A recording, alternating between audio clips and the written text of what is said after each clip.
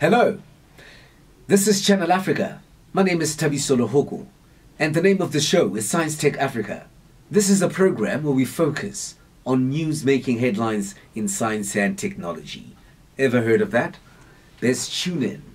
My name is Tabi Hoku, and welcome to the program.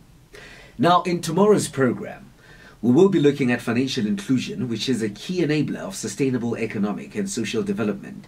And in our second story, we will be looking at how a British company gained access to the data from 50 million Facebook users.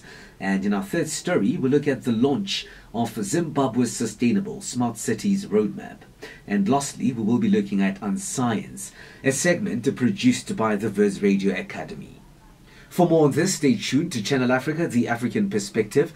Please like our Facebook page, Channel Africa, and do follow us on Twitter at ScienceTech underscore one and engage with us and comment on the program so we may add your inputs. Channel Africa from an African perspective.